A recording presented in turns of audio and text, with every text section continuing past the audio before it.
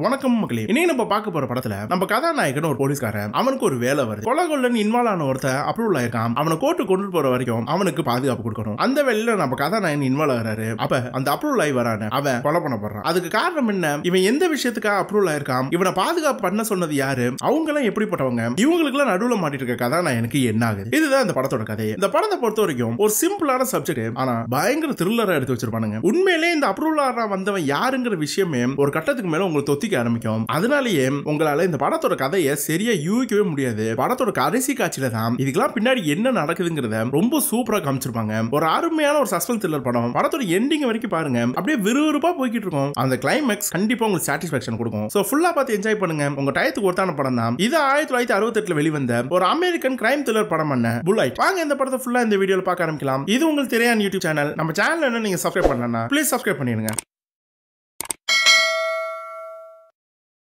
படம் ஆரம்பத்துல ஏதோ டிவி ஸ்டுடியோ மாதிரி காட்டுறாங்க. அதை நடத்துறது ஜான் ரோஸ் பீட்டர் ரோசன் ரெண்டு பேரு. அந்த இடத்த சுத்தி நிறைய பேர் நிக்கிறாங்க. இது எல்லாத்தையும் உள்ள இருந்து ஒருத்தர் கவனிக்கிறான். அவன் கையில இருந்து ஒரு ஸ்மோக் கிரேனட் எடுத்து அந்த ஆட்கள் நிக்கிற தூக்கி போடுறான். அந்த இடமே ஒரு மாதிரி புகையா மாறுது. அந்த கேப்ல அந்த நபர் அங்கிருந்து ஓட ஆரம்பிக்கிறான். அவனை சுட்டுக்கிட்டே பின்னாடி துரத்த ஆரம்பிக்கிறாங்க. தப்பிச்சு வெளில வரவன் அங்க ஒரு நபர் இருக்கிறத பாக்குறான் அவரு இந்த தப்பிச்சு வந்தவனை பார்த்துட்டு அவன் கையில எதையோ கொடுத்து இந்த பக்கமா போ அப்படிங்கிறாரு. அவன் டக்குன்னு ஒரு கார் எடுத்துட்டு வேகமா அங்கிருந்து கிளம்புறான். வெளியில உள்ளவங்க இவனை பார்த்து சுட்டுக்கிட்டு துரத்துறாங்க. ஆனா எல்லாருக்கிட்டேந்தியும் இவன் தப்பிக்க ஆரம்பிக்கிறான். உள்ள அவன் ஒருத்தர் தப்பிக்க விட்டானே. அவன் பேர் பீட் அவன் டேரக்டா யாருக்கோ கால் பண்ணி பீட் பேசுறேன் ராஸோட அண்ணன் ராஸ் இங்கே தப்பிச்சிட்டான். நான் அவனை கண்டுபிடிக்கிறதுக்கு ஆளுங்களை அரேஞ்ச் பண்றேன். நீ எனக்கு அதுக்கான பேமெண்ட் கொடுத்துன்னு சொல்லிட்டு போனை கட் பண்றாரு. இப்போ அப்படியே சிகாகோ மாநிலத்தை காட்டுறாங்க. அங்க இருக்க ஒரு நகரத்துல பயங்கர பிஸியா இருக்கு. மக்கள் எல்லாம் அங்கிட்டு இங்கிட்டு வேலை பார்த்துட்டு இருக்காங்க. அங்க இருக்க ஒரு ஹோட்டலுக்கு இந்த தப்பிச்சு வந்து ராஸ் போறான். போயிட்டு அந்த ஹோட்டல் இருக்க ரிசப்ஷன் தனக்கு ஏதாவது லெட்டர் வந்திருக்கான்னு சொல்லி கேட்கறான் சார் உங்க பேர் ஜானி ராஸ் தானே? இருங்க செக் பண்றோம்னு செக் பண்றானுங்க. லெட்டர் எதுவுமே இல்ல. சார் உங்க பேர்ல எந்த லெட்டரும் வரல சார் அப்படிங்கிறாங்க. இதை கேட்டு ராஸுக்கு ஒரு மாதிரி ஷாக் ஆகுது. இல்லையே வந்திருக்கணுமே அப்படின்னு யோசிச்சுட்டு அமைதியா அங்கிருந்து கிளம்புறான். நேரா வெளியில போறான். போயிட்டு அங்க நின்னுட்டு இருக்கப்ப டக்குன்னு ஒரு ஆள் வந்து இவனுக்காக ஒரு டாக்ஸியை பிடிச்சி அந்த டாக்ஸியில ஏத்தி விடுறான். அவன் அந்த ஹோட்டல்ல வேலை செய்யற வெயிட்டர் தான். இந்த ஜானி ராசுக்கு ஒண்ணுமே புரியல. என்னடா இவனா நம்மள ஏத்தி விடுறானேன்னு யோசிக்கிறான். சரி ஏதோ டைமிங்ல வந்திருப்பான் போலன்ட்டு அந்த டாக்ஸில ஏறி அப்படியே போய்கிட்டே இருக்கிறான். ஜானி ராஸ் போனதுக்கு அப்புறம் அந்த வெயிட்டர் நேரா போய் போன் எடுத்து யாருக்கோ கால் பண்ணி அது ஜானி ராஸ் தான். Sunshine Cab one two one two இந்த வண்டியில தான் ஏத்தி விட்டுருக்கேன். நீங்க போனா பிடிச்சிடலாம் அப்படிங்கிறான். இந்த பக்கம் ராஸ் வண்டியில போய்கிட்டு இருக்கானே. அவன் கையில ஒரு லிஸ்ட் இருக்கு. அதுல ஃபர்ஸ்ட் ஹோட்டல்ல இருந்து அந்த மெசேஜ் வாங்கணும்னு எழுதியிருக்கு. அது அவனுக்கு கிடைக்கல அதனால அதை அடிச்சிடறான். அடுத்து ரெண்டாவதா யாருக்கோ போன் பண்ணணும்னு எழுதியிருக்கு. அந்த டிரைவர் கிட்டயும் ஒரு ஓரத்தில் நிக்க சொல்லி போன் பண்றதுக்காக போறான். யார்ட்டையோ ஒரு ரெண்டு நிமிஷம் பேசிக்கிட்டே இருக்கிறான். இது எல்லாத்தையும் அந்த டிரைவரும் கவனிச்சுட்டு இருக்கான். இப்ப இந்த பக்கம் காட்டுறாங்க டெல் பிராங்க் இருக்கிற வீட்டுக்கு போறாரு. டெல் ஒரு போலீஸ்காரன் நம்ம பிராங்க் ஒரு போலீஸ்காரன் தான். ரெண்டு பேரும் சேர்ந்து தான் வேலை பாக்குறாங்களே ஏதோ அர்ஜென்ட்னு சொல்லிட்டு பிராங்க வெளியில வர சொல்றாரு. டெல்லும் டக்கு டக்குன்னு கிளம்புறான். பிராங்க கூட்டிக்கிட்டு அவர் போக சொல்ற இடத்துக்கு போய்கிட்டு இருக்கான். ரெண்டு பேரும் நேராவே ஒரு பணக்காரங்க நடத்துற பார்ட்டிக்கு போறாங்க. ஃபுல்லா பொலிட்டிஷியனுங்களுக்கான பார்ட்டி நடக்குது. அங்க போயிட்டு பிராங்க் அப்படியே வெயிட் பண்ணிக்கிட்டே இருக்கிறான். அப்ப அந்த இடத்துக்கு ராபர்ட் சார்மலன் ஒருத்தன் வரான். இந்த ராபர்ட் யாருன்னா இந்த ஊர்ல இருக்க எதிர்கட்சியில ஒரு முக்கியமான ஆளு. வர எலெக்ஷன் நின்று ஜெயிச்சானா இவன் தான் இந்த ஊருக்கு அடுத்த கவர்னர் ஆவான். ஆனா இது வரைக்கும் இவன் ஜெயிப்பாங்கிறதுக்கான வாய்ப்புகள் எதுவும் பெருசா இல்லவே இல்ல. இப்போ அவனுக்கு ஒரு வாய்ப்பு கிடைச்சிருக்கு. அதை பத்தி தான் பிராங்க் கிட்ட கூட்டு சொல்றான். பிராங்க் கிட்ட என்ன சொல்றான்னா ஜானி ராசன் ஒருத்தன் இப்ப கவர்னரா இருக்கார்ல அவர் கூட ஏதோ ஒரு திட்டு வேலையில ஈடுபட்டிருக்கான். அது மூலமா கிட்டத்தட்ட 200 கோடி ரூபாய் சம்பாதிச்சிருக்கானுங்க அந்த பணம் யார்கிட்ட இருக்குங்கிற எல்லா விஷயமும் இவனுக்கு தெரியும். அது போக அந்த இப்ப இருக்கார்ல கவர்னர் அவர் தான் அந்த கொள்ளையில ஈடுபட்டான்னு சொல்றதுக்கான முக்கியமான ஆதாரம் ஆதாரமும் அவன் கிட்ட இருக்கான். சோ இவன் இப்போ ஒரு அப்ரூவலா மாறி இருக்கான் இவனுக்கு பாதுகாப்பு நீ கொடுக்கணும். அடுத்த வாரம் திங்கக்கிழமை தான் இவனை நான் கோர்ட்ல சப்மிட் பண்ண போறேன். இன்னைக்கு வெள்ளிக்கிழமை சனி நேரம் ரெண்டு நாள். ரெண்டு நாள் இவனுக்கு நீ பாதுகாப்பு கொடுத்தா போதும். கோர்ட்டுக்கு திங்கக்கிழமை நான் கூட்டிட்டு போயிருவேன். இதை நான் அபிஷியலா தான் அப்ரோச் பண்றேன். ஆனா ஏதோ ஒரு ஏனோ தானோங்கிற போலீஸை தான் பாதுகாப்பு கொடுப்பாங்க. நீ எப்படிப்பட்ட ஆள்னு எனக்கு நல்லா தெரியும். அதனால உன்கிட்ட நான் பர்சனலா கேட்கறேன் ப்ளீஸ் நீ உன் டீம் மெம்பர்ஸ் வச்சு இவனை பாதுகாப்பா ஒரு இடத்துல வச்சுக்கங்க அப்படின்னு சொல்லி கேட்கறாரு நம்ம பிராங்க் அந்த ராபர்ட் கிட்ட இப்போ அவன் எங்க இருக்கான்னு சொல்லி கேட்கறாரு அதுக்கு அந்த ராபர்ட் ஒரு ஹோட்டல் பேர் சொல்லி அந்த ஹோட்டல்ல தான் இருக்கிறான் அப்படிங்கிறாங்க. உடனே பிராங்கும் அது ஒரு சீப்பான ஹோட்டல் தானே? நல்லது. அங்கே இருக்கட்டும். நான் அங்க வச்சே நான் பாதுகாப்பு கொடுத்துக்கிறேன். நான் கிளம்புறேன்ட்டு நேரா அவரோட ஃப்ரெண்டான டெல்லி கிட்ட போய் சொல்றான். டெல்லும் எப்பா பாஸுக்கு தெரிஞ்சா ஏதோ கோச்சுக்கு போறாருப்பா அப்படிங்கிறான். அதுக்கு நம்ம பிராங்க் பாஸ்கிட்டே பேசிட்டு தான் சொல்றான். ஃபர்ஸ்ட் அந்த ராசை போய் பார்த்துட்டு அப்புறம் பாஸ் கிட்ட போலான்ட்டு ரெண்டு பேரும் நேரா அந்த ஆள் சொன்ன ஹோட்டலுக்கு போறாங்க. நேரா உள்ள போய் அந்த ராசை பாக்குறாங்க. அந்த ராஸ் கிட்ட உங்களுக்கு தேவையான எல்லாத்தையும் நாங்க இனிமேல் அரேஞ்ச் பண்ணிக்குவோம். நீங்க இந்த ரூம் மட்டும் ரெண்டு நாள் வெளியே போக கூடாது. உங்கள் பாதுகாப்புக்கு தான் நாங்க வந்திருக்கோம் சொல்லிட்டு பிராங்க் நேரா போய் அவனோட பாஸ் கால் பண்ணி இந்த அரசியல்வாதி இருக்கிறான்னு ராபர்ட் அவன் சொன்னதெல்லாம் சொல்றாரு. பாசும் சரி குழப்பம் இல்ல பண்ணுங்க. இந்த மாதிரி அரசியல்வாதியோட தயவும் நமக்கு தேவைதான் அப்பதான் நம்மளாலே நிம்மதியா வேலை பார்க்க முடியும். சின்ன ஹெல்ப் தானே. டெல்ல வேணா அங்கேயே விட்டுட்டு நீ வீட்டுக்கு போ அப்படிங்கிறாரு. அந்த ராசை கூப்பிட்டு நீ வீட்டை விட்டு எங்கேயும் போகாத. உங்களோட டெல் இருப்பாரு. உனக்கு என்ன தேவையோ அதை பண்ணி கொடுப்பாரு. திங்கள் வந்து மீட் பண்றோம்னு சொல்லிட்டு டெல்ல அங்கேயே இருக்க சொல்லிட்டு நம்ம பிராங்க் நேரா அந்த ஊர்ல இருக்க ஒரு ஆபீஸ்க்கு போறான். அங்கதான் அவனோட கேர்ள் ஃப்ரெண்டு வேலை பார்த்துட்டு இருக்கா. இவ பேர் எல்வின் எல்வினை கூட்டிகிட்டு அப்படியே சாப்பிட போறாரு. அங்க இருக்க ரெஸ்டாரண்ட்ல போயிட்டு போன் எடுத்து டெல்லி இருக்கிற அண்ணன் இப்ப ஹோட்டல் அந்த ஹோட்டலுக்கு கால் பண்ணி டெல்லி வந்தோடனே அவர் என்கிட்ட பேச சொல்லுங்கன்னு சொல்லிட்டு போனை கட் பண்றான். அந்த ரெஸ்டாரண்ட் முடியும் எனக்கு டெல்லுங்கிற ஒருத்தர் கால் பண்ணாரு. அவர் கால் பண்ண எனக்கு கூப்பிடுங்கன்னு சொல்லிட்டு நேராக அவனோட கேர்ள் ஃப்ரெண்டான எல்வின் கூட உட்காந்து சாப்பிட்டுக்கிட்டே அப்படி நல்லா டைம் ஸ்பெண்ட் பண்ணிக்கிட்டே இருக்கிறான். டெல்லு கால் பண்ணவே இல்லை. என்னடா அவன் கால் பண்ணல அப்படின்னு யோசிச்சுக்கிட்டே நேராக வீட்டுக்கும் போயிடுறான். போயிட்டு வீட்டுல படுத்திருக்கப்ப நம்ம பிராங்குக்கு கால் வருது. போன் எடுத்த டெல்லு டெல்லு பிராங்க் கிட்ட பிராங்க் ஒரு ரிசப்ஷன்ல அந்த அரசியல்வாதி இருக்கார்ல ராபர்ட் அவரும் இன்னொரு யாரோ வந்திருக்கத போன் பண்ணி சொல்றாங்க. நான் கீழே போய் என்னன்னு பார்க்க வா அப்படின்னு சொல்லி கேட்கிறான் நம்ம பிராங்க் அப்படி யோசிக்கிறான் இல்ல நீ போகாத ஒரு நிமிஷம் இரு நான் வேணா கிளம்பி வரேன் அப்படிங்கிறான். அதுக்கு டெல்லு இல்ல நீ கிளம்பிலாம் வராத. நாங்க வரல பார்க்க மாட்டோம்னு சொல்லிக்கிறோம்னு சொல்லிட்டு போனை வச்சிருக்கேங்கிறான் அதே மாதிரி டெல்லுன்னு சொல்லிட்டு போனை வச்சிடறான். இப்போ இந்த ராஸ் இருக்க ரூம் காட்டுறாங்க. ஒரு போன் வருது ரிசப்ஷன்ல இருந்து கூப்பிடுறாங்களே. அவங்க மறுபடியும் சார் அந்த அரசியல்வாதி ராபர்ட்டும் அவர் கூட இன்னொரு ஆள் உங்களுக்காக வெயிட் பண்ணிக்கிட்டே இருக்காரு அப்படின்னு சொல்றாங்க. இது அங்க இருக்க ராசும் கேட்கிறான் நேரா போய் அந்த கதவு உள்ள ஒரு லாக் போட்டிருக்கோம். அந்த லாக்கை திறந்து விட்டுறான். இந்த பக்கம் டெல்லு நம்ம பிராங்க்கு கால் பண்ணி டே அந்த அரசியல்வாதி மறுபடியும் வந்திருக்கானாடா என்னடா பண்ணாம்னு சொல்லி கேட்கிறான் நம்ம பிராங்க் இல்ல இல்ல நீ கதவை திறக்காத. நான் நேரா இப்ப ஹோட்டலுக்கே வரேன்னு சொல்லிட்டு போனை வைக்கிறான். டெல் போனை வச்சுட்டு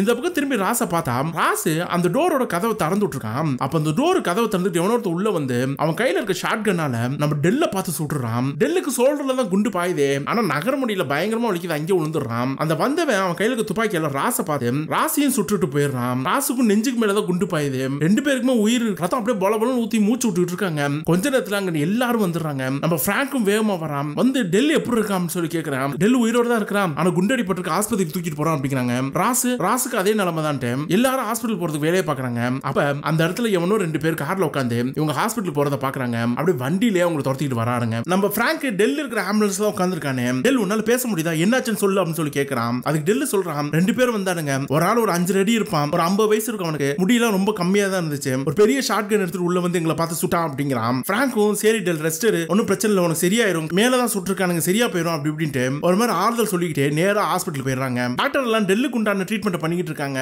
அப்படியே இந்த பக்கம் வந்தா இந்த ராசுக்கு ரொம்ப மோசமா அடிபட்டு போல. ஒரு பெரிய சர்ஜன் டீமே இருந்து வேலை பார்த்துக்கிட்டு இருக்கேன். பிராங்க் அப்படியே நின்று பார்த்துக்கிட்டே இருக்கிறான். கிட்டத்தட்ட ரெண்டு மணி நேரமா ஆபரேஷன் நடக்குது. ஆபரேஷன் முடிச்சிட்டு டாக்டர் வெளியில வந்துட்டு ஆபரேஷன் நல்லபடியா முடிஞ்சிருக்கு. நரம்பு எல்லாத்தையும் கனெக்ட் பண்ணிட்டேன். புண்ணு ஆறு ஆக தான் ஆள் நினைவுக்கு வருவான். அது வரைக்கும் பிப்டி பிப்டி தான் சான்ஸ் அப்படின்னு சொல்லிட்டு போறாரு. அப்படியே பிராங்க் அங்கேயே நிக்கிறான். அப்ப அவனோட பாஸ் அங்க வராரு. பிராங்க கூப்பிட்டு என்ன ஆச்சுன்னு சொல்லி கேட்கிறாரு இந்த ராஸ் தான் கொலகாரங்களை ரூம்குள்ளே விட்டுருக்கான். என்ன காரணம் தெரியல. அவன் எந்திரிச்சாதான் சொல்ல முடியும் அப்படின்னு சொல்றான். அதுக்கு அந்த பாஸ் அந்த அரசியல்வாதிகிட்ட ஃபோன் பண்ணி சொல்லிட்டியா இல்லையா? அவன் என்ன சொன்னான்னு சொல்லி கேட்கிறாரு நம்ம பிராங்க் அந்த ஆள்கிட்டலாம் ஃபோன் பண்ணல சார் இவனை கொலை பண்ணது யாரு? அதை தான் சார் கண்டுபிடிக்கணும் அப்படிங்கிறான். நம்ம பாஸ் உன் எனக்கு நம்பிக்கை இருக்கு. நான் அரசியல்வாதியை டீல் பண்ணிக்கிறேன். நீ இந்த கொலை பண்ணது யாருன்னு சொல்லிட்டு ஃபாலோ பண்ணு அப்படிங்கிறாரு. இப்போ இந்த ஹாஸ்பிட்டலுக்கு அந்த அரசியல்வாதி ராபர்ட் வராரு. நேரா போய் டாக்டர் பேசுறாரு. டாக்டரும் இப்போதைக்கு ராசு கிட்ட எதுவும் பேச முடியாது. ஒரு ஒரு நாள் ஃபுல்லா ரெஸ்ட்ல இருக்கணும். கொஞ்சம் கியூர் ஆனதுக்கு அப்புறம் தான் அவர்கிட்ட பேச முடியும் அப்படிங்கிறாரு. அந்த அரசியல்வாதி ராபர்ட் நேரா பிராங்க் போயிட்டு ஒரு மாதிரி கோமா கேட்க ஆரம்பிக்கிறாரு. பாத்துக்கங்க நம்பி தான் விட்டுட்டு போனேன். எதுக்கு இப்படி கேர்லஸா இருந்திருக்கீங்க அப்படி அப்படிங்கிறாரு அதுக்கு நம்ம பிராங்க் எங்காலும் ஒருத்தர் அடிபட்டு கிடக்குறான். கவனிச்சிங்களா இல்லையா? அது போக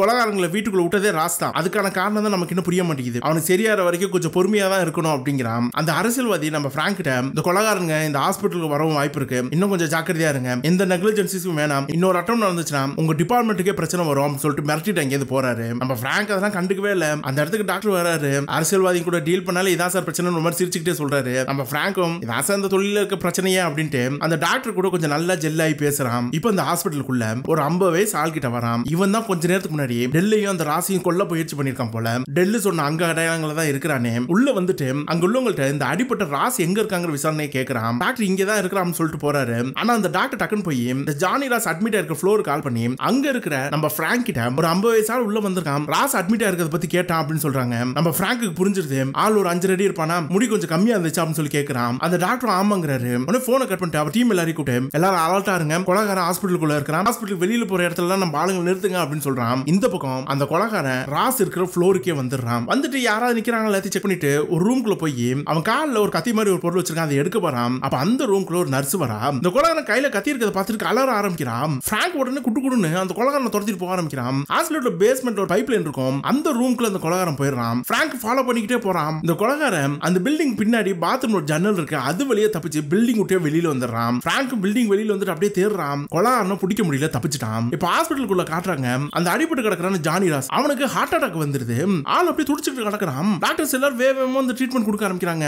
நம்ம பிராங்கும் வந்து நிக்கிறான் சிபிஆர் எல்லாம் பண்றாங்க டாக்டர் பிராங்கும் அப்படியே பாத்துக்கிட்டே நிக்கிறான் அந்த ராஸோட வைட்டல்ஸ் எல்லாமே ஃபுல்லா டவுன் ஆயிடுது. ஒரு கட்டத்துல ஹார்ட் பீட் சுத்தமா நின்றுது. டாக்டர் நேரா வந்து பிராங்க் கிட்ட அவன் இறந்துட்டான் அப்படிங்கிறாரு. அதுக்கு பிராங்க் நம்ம டாக்டர் கிட்ட எனக்கு ஒரே ஒரு ஹெல்ப் பண்ணுங்க டாக்டர் இவன் இறந்த விஷயத்தை இப்போதைக்கு யார்ட்டையும் சொல்ல வேணாம். அது தெரிஞ்சிருச்சுன்னா இந்த அரசியல்வாதி இந்த கேஸ் அப்படியே க்ளோஸ் பண்ணிடுவான். இவனை கொலை போடுறது யாருன்னு எனக்கு தெரியணும். உலகாரனை ஏவி விட்டது யாருன்னு தெரிஞ்சாதான் இந்த கேஸ் க்ளோஸ் ஆகும். அதனால ப்ளீஸ் அப்படிங்கிறாரு. நம்ம டாக்டர் அப்படியே பிராங்க பாக்குறான் ஓரளவுக்கு தான் ஃப்ரெண்ட் ஆயிட்டானே. அதனால பிராங்க்கு ஹெல்ப் பண்ண ஒத்துக்கிறான். அந்த டாக்டர் நேரா போய் இன்னொரு டாக்டர் கிட்ட இதை பத்தி பேசுறாங்க. அப்ப நம்ம பிராங்க் அவனோட ஆபீசர்ல ஒருத்தர் கூப்பிட்டு ஒரு ஆம்புலன்ஸ் ஒன்று ரெடி பண்ணுங்க. எனக்கு ஒரு மார்ச்சர் தெரியும். அங்க ஒரு பாடி வந்துட்டு இருக்குன்னு மட்டும் சொல்லுங்க. யாருக்கிட்ட இதை பத்தி பேசாதீங்க அப்படின்னு சொல்லிட்டு ஒரு ஆம்புலன்ஸ் வர வைக்கிறான். டாக்டர் ஹெல்ப்போட இந்த பிராங்க் அந்த ஜானி ராஸோட உடம்பு எடுத்துக்கிட்டு ஒரு ஆம்புலன்ஸ்ல இங்க இருந்து கிளம்பி நேரா அவன் சொன்ன மார்ச்சரிக்கு அந்த பாடி போயிருது. பிராங்க் கிளம்பி நேரா அவனோட வீட்டுக்கு தான் போயிடுறானே. இந்த பக்கம் ஹாஸ்பிட்டலுக்கு அந்த அரசியல்வாதி ராபர்ட் வரான். வந்து அந்த ஐசியூல ராஸ் இல்லாத பார்த்து ஷாக் ஆயிடுறான். எங்க இந்த ஜானி ராஸ் போனான்னு சொல்லிட்டு நேரா போய் அந்த ஃப்ளோர் நர்ஸ் கிட்ட கேக்குறாங்க. அந்த நர்ஸ் நான் என் சூப்பர்வைசர் கூப்பிட்டு வந்து சூப்பர்வைசர் கூப்பிட போறாங்க. அந்த சூப்பர்வைசர் வந்து எனக்கு தெரியாது. டாக்டர் தான் மாத்துறாங்க எங்க கொண்டு போயிருக்காங்க தெரியாது அப்படிங்கிறாரு. நான் உடனே இந்த டாக்டர் பார்க்கணும் இந்த அரசியல்வாதி சொல்றான். அவர் லீவ்ல இருக்காரு அப்படிங்கிறான். இவனுக்கு டென்ஷன் ஆகுது. நேரா போய் அவனோட ஆட்டில் எல்லாரையும் கூப்பிட்டு அந்த போலீஸ்காரன் பிராங்க் அங்க. அவனோட பாஸ் உடனே நான் பார்க்கணும் அப்படி அப்படிங்கிறான் அப்ப கரெக்டா அந்த ஹாஸ்பிட்டலுக்கு பிராங்க் கால் பண்றான். அப்ப அந்த அரசியல்வாதி பிராங்க் கிட்ட அந்த ராஸ் என்ன பண்ண? எங்க இருக்கான் அப்படின்னு சொல்லி கேட்கறான் அதுக்கு நம்ம பிராங்க் ராஸ் பத்திரமா தான் இருக்கான். நீ எதுவும் மண்டையை உடச்சிட்டு இருக்க வேணா நான் வேலை முடிஞ்சோன்னு கூப்பிடுறேன் அப்படிங்கிறான். உடனே அந்த அரசியல்வாதி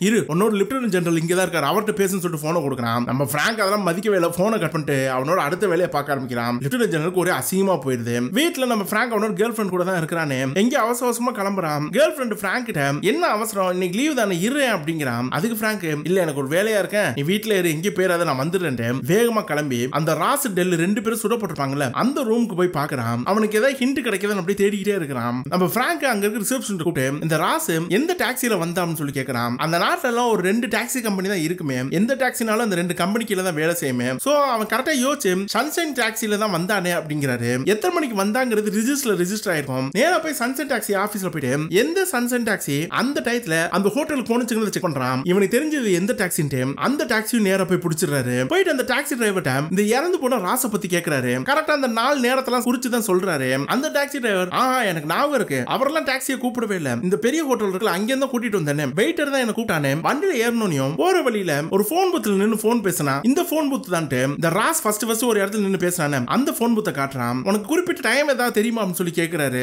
இந்த டிரைவர் ஒரு குத்து மதிப்பா இந்த நேரம் தான் இருக்கும் அப்படிங்கிறான். பிராங்க் நேரா போய் அந்த போன் பூத்ல இருந்து இவன் டிபார்ட்மெண்ட் சைபர் டீம் கால் பண்ணி அந்த டாக்ஸி டிரைவர் ஒரு டைமிங் சொல்லி பண்ண அந்த டைமிங் கேப்ல இந்த போன்ல இருந்து எங்க கால் பண்ணுச்சுன்னு கொஞ்சம் கண்டுபிடிங்க அப்படின்னு சொல்லி கேட்கிறான் அவங்களும் எப்படி சார் நிறைய பேர் கால் பேசிருப்பாங்களே சார் எப்படி சார் கரெக்டா கண்டுபிடிக்கிறது அப்படிங்கிறாரு? இல்ல என்னென்ன கால் பண்ணுச்சோ அது எல்லாத்தையுமே எடுங்க அப்படின்னு சொல்லிட்டு போனை வச்சுட்டு நேரம் வந்து டாக்ஸியில் உட்காரப்ப டாக்ஸி டிரைவர் நம்ம பிராங்க் அவன் கால் பண்ணது ஒரு லாங் டிஸ்டன்ஸ் கால் அப்படிங்கிறான். பிராங்க் கேப்பற அந்த டாக்ஸி டிரைவர் எப்படி நீ கரெக்டா சொல்றேன் அவன் ரெண்டு காயின் போட்டான். லோக்கல்ல பேசுறா ஒரு காயின் போதும். வெளியூர் பேசுறதா இருந்தா ரெண்டு காயின் தான் அப்படிங்கிறான். இது ஒரு பெரிய ஹிண்ட் நேர போய் மறுபடியும் சைபர் டீம் கால் பண்ணி இந்த போன்ல இருந்து இந்த போன்ல இருந்து வெளி மாநிலத்துக்கு கால் போயிருக்கும். அந்த டைமிங்ல அந்த காலை மட்டும் எடுங்கன்னு சொல்லிட்டு போனை கட் பண்றாரு. இப்ப இந்த பக்கம் அந்த அரசியல்வாதி இருக்கிறான அவன் நம்ம பிராங்கோட பாச போய் பிடிக்கிறான். அன்னைக்கு சண்டேவா எல்லாம் சர்ச்சுக்கு போயிட்டு இருக்காங்க. பாஸுக்கு ஆன் டியூட்டில எல்லாம் கிடையாது. ஆனா அரசியல்வாதி வந்து கூப்பிடுறதுனால பேசாம நின்று பேசுறாரு. அவன் நம்ம பாசுக்கிட்ட இந்த பாருங்க இந்த பிராங்க் ஜானி ராஸை கூட்டிட்டு போயிட்டு என்னமோ பண்ணிட்டு இருக்கான். எனக்கு அந்த ஜானி ராஸ் பத்திரமா தேவை. என்னோட எதிர்காலமே அந்த ஜானி ராஸ் கிட்ட தான் இருக்கு. இது ரொம்ப தப்பா இருக்கு. சப்போஸ் நாளைக்கு காலையில கூட ஜானி ராஸை பிராங்க் கொண்டாந்து ஒப்படைக்கலனா நான் கோர்ட்ல போய் ஏபிஎஸ் கார்பஸ் மனு போட்டுருவேன். அப்புறம் நீங்க கோர்ட் மூலமா தான் டீல் பண்ணுமே. உங்கள்ட்ட நான் எல்லாமே லீகலா தான் வந்திருக்கேன். ஆனால் லீகலா என்னால் மூவ் பண்ண முடியும். உங்க எதிர்காலத்தை நீங்க கெடுத்துக்காதீங்க அப்படின்னு சொல்லிட்டு மிரட்டுறான். அந்த பாசும் சரி சரி நான் பண்ற பண்ற போங்கட்டு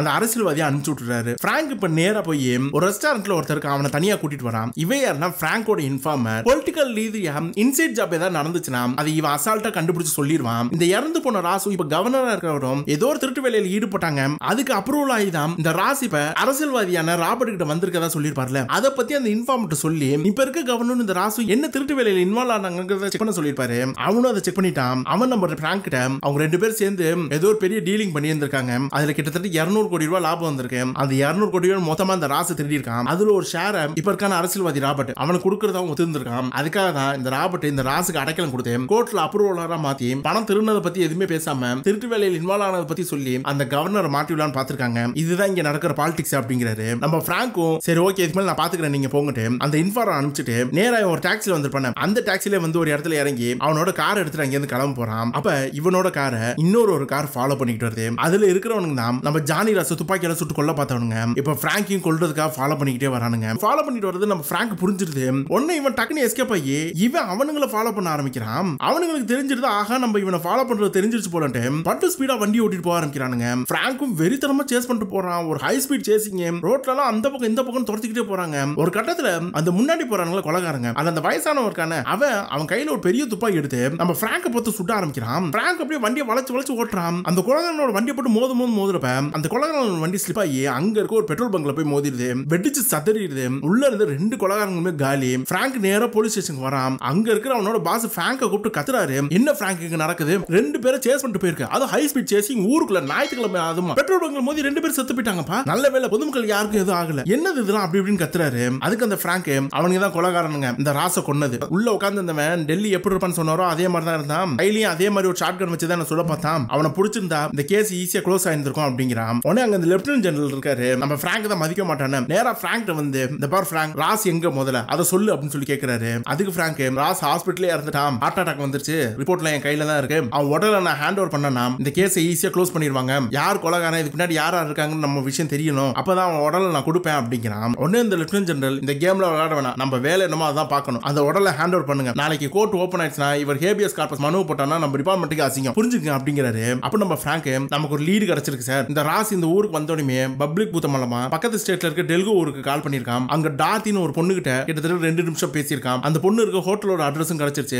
நான் அந்த ஊர்ல இருக்க நம்ம ஃப்ரெண்ட்ஸ் மூலமா அந்த பொண்ணு அங்க இருக்காங்கிறதையும் நான் கன்ஃபார்ம் பண்ணிட்டேன். அங்க போய் அந்த பொண்ணை பிடிச்சோம்னா நமக்கு லீடு கிடைக்கும் சார் அப்படிங்கிறான். உடனே இந்த பாஸ் நம்ம பிராங்க பார்த்து பிராங்க் இன்னைக்கு சண்டே ஒரு நாள் தான் நமக்கு சான்ஸ் இன்னைக்குள்ள இதுக்கு பின்னாடி யார் இருக்காங்கிறத பிடிச்சினா ஓகே நாளைக்கெல்லாம் முடியவே முடியாது அப்படிங்கிறாரு. ஃப்ராங்கும் சரி சார் சொல்லிட்டு வேகமா இங்க இருந்து கிளம்புறான். நேரா போய் அந்த டிபார்ட்மெண்ட்ல கார் கேட்கறான் கார்ல அவன் கொடுக்க கூடாதுன்னு சொல்லியிருக்காங்க அப்படிங்கிறான். உடனே இவனோட கேர்ள் ஃபிரெண்ட் கால் பண்ணி அவளோட கார்ல பக்கத்துல இருக்க அந்த ஸ்டேட்டுக்கு போறான். ஒரு ரெண்டு மணி நேரம் டிராவல் தான். வேகமா போய் அந்த ராஸ் ஒரு பொண்ணு கால் பண்ணி பண்ண டார்த்தின்னு. அந்த பொண்ணோட ஹோட்டலுக்குள்ள நுழையிறான். வெளியில நம்ம பிராங்கோட கேர்ள் ஃபிரெண்ட் உட்காந்துக்கிட்டு இருக்கான். அப்ப அந்த ஹோட்டலுக்குள்ள இருந்து இந்த ராஸ் மாதிரியே ஒருத்தன் வெளியில வரான். பாக்குறதுக்கு அப்படியே இந்த ஜானி ராஸ் மாதிரியே தான் இருக்கிறானே. இப்பதான் இறந்து போனானே அந்த ராஸ் தான். அப்படியே இந்த பக்கம் காட்டுறாங்க. அந்த ஹோட்டல் நோக்கி நிறைய போலீஸ் வண்டி எல்லாம் வருது. பிராங்கோட கேர்ள் ஃபிரண்ட் ஒன்னும் புரியல. என்ன நடக்குதுன்ட்டு குடு அவளும் எந்திரிச்சு அந்த போலீஸ் பின்னாடி ஓடியாடுறா. அவங்க பார்த்தா அந்த டார்த்தி பொண்ணு ரூமுக்கு தான் போறாங்களே. உள்ள போய் பாக்குறா அந்த டார்த்தி பொண்ணு கழுத்து இருக்கப்பட்டு செத்து கிடக்குறா. பிராங்கோட கேர்ள் ஃபிரெண்ட் ஒரு மாதிரி ஆடி போயிடுறா. அவ வந்திருக்கத பிராங்கும் கவனிக்கிறான். டக்குனு பிராங்கோட கேர்ள் ஃபிரெண்ட் கூட்டிட்டு வெளில போயிட்டு இதெல்லாம் நீ பார்க்க கூடாது இங்க இப்படிதான். ஒரு ஆள் நல்லா வாழணும்னா எத்தனை பேரை வேணா கொண்டுட்டு போவானுங்க. அந்த மாதிரி சூழ்நிலை தான் நம்ம இருக்கிறோம். நீ முதல்ல வீட்டுக்கு போ. இதுக்கு மேல நான் பாத்துக்கிறேன் அப்படிங்கிறான். அப்படியே கேர்ள் ஃபிரெண்டுக்கு ஒரு மாதிரி ஆகுது. இது எல்லாத்தையும் விட்டுட்டு வந்து பிராங்க் அப்படி இப்படிங்கிறான். அதுக்கு பிராங்க் இல்லம்மா கஷ்டம். நீ வீட்டுக்கு போ நான் வரேன்ட்டு. அவனோட கேர்ள் ஃபிரெண்டா இங்க இருந்து அனுப்பிடுறான். கொலை பண்ணப்பட்டிருந்தால அந்த டார்த்தி பொண்ணு. அந்த பொண்ணு ரூம்ல இருந்த எல்லா திங்ஸையுமே நம்ம பிராங்கும் அவனோட பொலிட்டிக்கல் ஃப்ரெண்டும் செக் பண்றாங்க. ரெண்டு பெட்டி இருக்கு. ஒரு பெட்டியில ஃபுல்லா பொம்பளை பிள்ளைங்க சமாச்சாரமா இருக்கு. இன்னொரு பெட்டியில ஃபுல்லா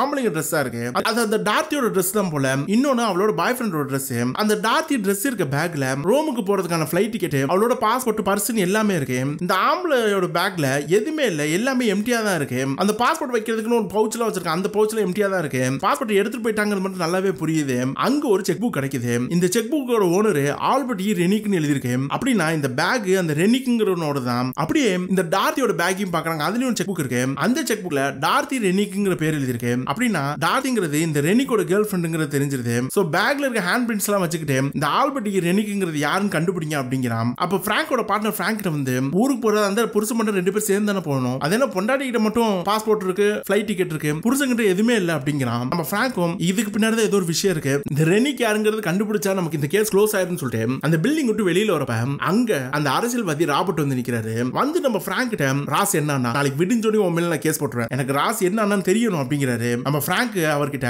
ராஸ் செத்து போயிட்டான். அவன் உடம்பு இந்த மார்ச்சரில் தான் வச்சிருக்கேன். இப்போ எனக்கு இன்னொரு லீடு கிடைச்சிருக்கு. அந்த லீட பார்த்து போய்கிட்டு இருக்கேன் அவசரப்படாதீங்க அப்படிங்கிறாரு. அப்படியே அந்த அரசியல்வாதிக்கு சம கோவம் வருது. நீ பெரிய பிரச்சனை ஃபேஸ் பண்ண போற பிராங்க் நீ எதிர்காலத்தையே நீ வீணடிச்சிட்டு இருக்க அப்படி அப்படிங்கிறாரு அதுக்கு நம்ம பிராங்க் நீங்க எதுக்கு இந்த ராசு கூட சேர்ந்துட்டு என்னென்ன பண்றீங்கன்னு எனக்கு நல்லா தெரியும். கொஞ்சம் பொறுமையா இருங்க. அந்த விஷயத்துல நான் கிளற ஆரம்பிச்சேன். உங்களுக்கு அரசியல் வாழ்க்கை இல்லாம போயிருன்னு சொல்றான். அப்படியே அந்த அரசியல் ராபர்ட்டுக்கு ஒரு மாதிரி வாயடிச்சு நின்றாரு. அப்ப கரெக்டா அங்கே இன்னொரு ஆள் வந்து சார் அந்த ஆல்பர்ட் ஈர் எண்ணிக்கை இருக்கார்ல? அவரை பத்தி டீட்டெயில் கலெக்ட் பண்ண சொல்லிருக்கீங்களே? அவரோட போட்டோ கிடைச்சிருச்சு சார் பிரிண்ட் ஆயிட்டு இருக்கு. வரீங்களா? அப்படிங்கிறான். பிராங்க் வேகமா ஆபீஸ்க்குள்ள போறான். அங்க மிஷின் பிரிண்ட் ஆயிட்டு இருக்கிறது நின்று கவனிச்சிட்டு அங்க அங்க கேம்போட பாஸ் வராரு. கூடவே இந்த அரசியல்வாதி ராபர்ட் வராரு. அது பிரிண்ட் ஆகி வெளியில வருது. அந்த பேப்பர்ல இருக்க போட்டோவை பார்த்தா இறந்து போயிருந்தானே ஒரு ராசு. அவன மாதிரியே இருக்கு.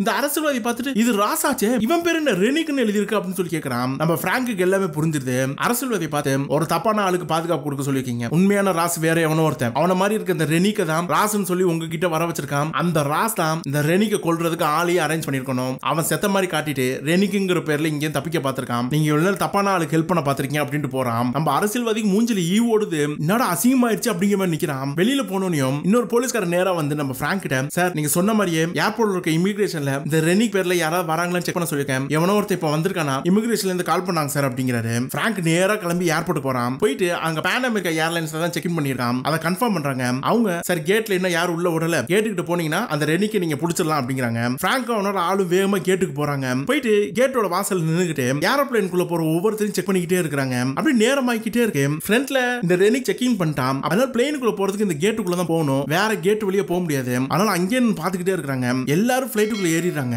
பார்த்தா அந்த ரெனிக் அங்க வரவே இல்ல. பிராங்குக்கு ஒரு மாதிரி மண்டை காயுது ஃப்ரண்ட்ல செக் இன் பண்ணிட்டான். அப்ப இங்க தானே வரணும்? வேற எங்க போயிருப்பான் அப்படிங்கிற மாதிரி யோசிக்கிறான். அப்படியே அங்க ஃபிளைட் எல்லாம் என்னென்ன ஃபிளைட் நிக்குதுன்னு காட்டும்ல. அந்த லிஸ்ட்டை பார்த்தா பேன் அமெரிக்கா ஃபிளைட்ல ரெண்டு ஃபிளைட் இருக்கு. ஒன்னு ரோமுக்கு போறது இன்னொன்னு லண்டனுக்கு போறது. இவனுக்கு புரிஞ்சிருது. கடைசி நிமிஷத்துல அந்த ராசு ரோமுக்கு போறதா அந்த அவன் டிக்கெட்டை லண்டனுக்கு மாத்திருக்கான்ட்டு. இவங்க எப்படி ரோமன் கன்ஃபார்ம் பண்ணாங்க பண்ணாங்கன்னா அந்த இறந்து போன டார்த்தி இருக்கால அவரோட ஃப்ளைட் டிக்கெட் ரோமன் தான் இருக்கும். அதை வச்சு தான் இவங்க இங்க வந்து நின்றுப்பாங்க. லண்டனோட ஃப்ளைட்டோட டைமிங்க பாக்குறாங்க. அது பார்த்தா இன்னொரு அஞ்சு நிமிஷத்துக்கு கிளம்பிடும் போல. நேரா அந்த ஏர்லைன் கால் பண்ணி ஃபிளைட்டுக்குள்ள இருக்க அட்டண்டருக்கு கனெக்ட் பண்ண சொல்றாங்க. அவங்களுக்கு கனெக்ட் பண்ணி தராங்க. அவங்க கிட்ட கேக்குறான் ஃபிளைட்ல ஆல்பர்ட் ரெனிக்கு நீ அவனா உட்காந்துருக்கான்ட்டு அவங்கள ஆமா ஒருத்தர் உட்காந்துருக்காரு அப்படிங்கிறாங்க. உடனே போனை கட் பண்ணிட்டு ஏர்லைனுக்கு கால் அந்த ஃபிளைட் கிளம்ப சொல்லாங்க உடனே நிறுத்துங்க. உள்ள ஒரு கொலகாரா இருக்கான். அவனை பிடிக்கணும் அப்படிங்கிறான். அதனால ஃபிளைட்டையும் நிறுத்திடுறாங்க. அந்த உள்ள அந்த ராஸ் இருக்கிறான். அவனுக்கு ஒரு மாதிரி படபடப்பாகுது. என்னடா கிளம்ப வேண்டிய ஃபிளைட் நிக்குதுன்ட்டு நம்ம பிராங்க் அவன் ஆள் கூட அப்படியே ஃபிளைட்டை பார்த்துக்கிட்டே நின்றுட்டு இருக்கான். அங்க அந்த அரசியல்வாதி வரான். வந்து நம்ம பிராங்க் கிட்ட இந்த பார் பிராங்க் உனக்கு எனக்கு நிறைய கசப்பான சம்பவங்கள் நடந்திருக்கு. நான் இல்லைன்னு சொல்ல ஆனா இந்த ராஸ் எனக்கு ரொம்ப முக்கியமானவன். அவன் என்கிட்ட டபுள் கேம் விளையாண்டா எனக்கு புரியுது. அவனை உயிரோட மட்டும் புடி. அவனை எப்படியாவது பேசி இப்ப இருக்க கவர்னருக்கு எதிராக அவனை நான் கோர்ட்ல நிக்க வைக்கணும். இது என்னோட எதிர்காலம். புரிஞ்சுக்க அப்படிங்கிறாரு. நம்ம பிராங்க் என்னால முடிஞ்சதை பண்றேன் சார் இப்போதைக்கு என்ன டிஸ்டர்ப் பண்ணாதீங்கன்ட்டு அந்த அரசியல்வாதியை போக சொல்லிடுறான். அதே நேரத்தில் அந்த ஃபிளைட்ல இருந்து எல்லாரையும் டீபோர்ட் பண்ண ஆரம்பிக்கிறாங்க. அப்படியே பிராங்க் ஃபிளைட்டுக்குள்ள போயிட்டு அந்த ராசை தேடிக்கிட்டே இருக்கிறான். பிராங்க் உள்ள வந்திருக்கத அந்த ராஸ் கவனிச்சிடுறான். அந்த ஃபிளைட்ல இருந்து ஒரு பாதை வழியா தான் உள்ள போற மாதிரி செட் பண்ணிருப்பாங்க. ஆனா அந்த ராஸ் எந்திரிச்சு அப்படியே அந்த ஃபிளைட்டுக்கு பின்னாடி போய் அங்க ஒரு கதவு இருக்கு. அதை திறந்து ஃபிளைட்ல இருந்து குதிச்சு குட்டு குடுன்னு ஏர்போர்ட்டுக்குள்ள ஓட ஆரம்பிக்கிறான். பிராங்க் அந்த ராஸை துரத்திட்டு வெறித்தனமா போறான். டே கொப்பமான நின்றாடே அப்படின்னு கத்திக்கிட்டே போறான். ஆனா ராஸ் நிக்கவே மாட்டேங்கிறான். வேகமா ஒரு இடத்துல ஓடிடுறான். இவங்க ரெண்டு பேரும் பின்னாடி இருக்க கதை குதிச்சு ஓடினதை அந்த ஃபிளைட் அட்டன் நேரா போய் ஃப்ரண்ட்ல இருக்க மத்த போலீஸ்காரங்க சொல்றாங்க. அவங்க எல்லாம் கேட் எல்லாத்தையும் க்ளோஸ் பண்ணிட்டு செக்யூரிட்டி அலர்ட் பண்ற வேலையை பாக்குறாங்க. இந்த ராஸ் ஒரு இடத்துல போய் நின்னுட்டு அவன் கையில ஒரு துப்பாக்கி இருக்கு. அதை எடுத்து பிராங்க பார்த்து சுட பாக்குறான். பிராங்க் ஆனா ராச துரத்திட்டு போய்கிட்டே இருக்கிறான். அங்க ஒரு மெயின்டெனன்ஸ் ரூம் இருக்கு. அதுக்குள்ள இந்த ராஸ் நுழைஞ்சிடறான். நம்ம பிராங்கும் கையில இருக்க துப்பாக்கி எடுத்துட்டு அவன் அந்த ரூம்குள்ள நுழையிறான். அந்த ரூம் பாத்தீங்கன்னா ஏர்போர்ட்டோட லாபில வந்து கனெக்ட் ஆகுது. அங்க மக்கள் ஜனமா நிக்குது. பிராங்க்கு ஒண்ணும் புரியல. எங்கடா போன அந்த ராஸ்னு சொல்லிட்டு அப்படியே ராசை தேடிக்கிட்டே இருக்கிறான். அவன் கண்ணில் படவே மாட்டேங்கிறான். தப்பிச்சிட்டான்னு ஒரு மாதிரி பயமாகுது. இந்த பக்கம் ராசு அப்படியே அந்த மக்களோட மக்களை பூந்துக்கிட்டு ஃப்ரண்ட்ல வரான். அந்த ஏர்போர்ட் விட்டு வெளியில போறதுக்கான இடம் அங்க வந்துடுறான். அங்க ஒரு போலீஸ்காரன் அந்த ராசை கவனிச்சு நில்லுங்க அப்படின்னு சொல்லி கத்துறப்ப இவன் அவன் கையில துப்பாக்கி அந்த போலீஸ்காரனை பார்த்து சுட்டுறான். அதே இடத்துக்கு பிராங்க் வந்துடுறான். அவன் கையில இருக்க துப்பாக்கியால இந்த ராசை பார்த்து கண்ணாமண்ணு சுட்டுறான். அங்க நம்ம பிராங்கோட பார்ட்னர் இருக்காரு. நேரம் பிராங்க வந்து பாக்குறாரு பிராங்க் அவன் கோட்டை கழட்டி அந்த ராஸ் மேல போட்டு ராஸ் உயிரோடு இருக்கான்னு செக் பண்றான். பார்த்தா செத்து போயிருந்திருக்கான். இது எல்லாத்தையும் அந்த அரசியல்வாதியும் கவனிக்கிறாரு. முடிச்சு விட்டீங்கடா போங்க அப்படிங்கிற ஒரு ஃபீலிங்ல அவர் போய் கார்ல ஏறி உட்காந்து அங்கிருந்து கிளம்பி போயிடுறாரு. பிராங்க் மறுநாள் கிளம்பி நேரா அவன் வீட்டுக்கு போறான். வீட்டுல அவ கேர்ள் ஃபிரெண்ட் இருக்கா. திங்ஸ் எல்லாத்தையும் கழட்டி வச்சுட்டு அவன் முகத்தை அலம்பிட்டு போய் படு தூங்குறான். அதோட இந்த படம் முடியுது. இந்த மாதிரி தொடர்ந்து வித்தியாசமான நல்ல படங்கள் பாக்குறது நம்ம சேனல் நீங்க சப்ஸ்கிரைப் செஞ்சு வச்சுங்க இந்த வீடியோ பிடிச்சிருந்தா லைக் பண்ணுங்க ஷேர் பண்ணுங்க. என்ன மாதிரியான கருத்து வந்தாலும் கமெண்ட்ல சொல்லுங்க. நன்றி வணக்கம்.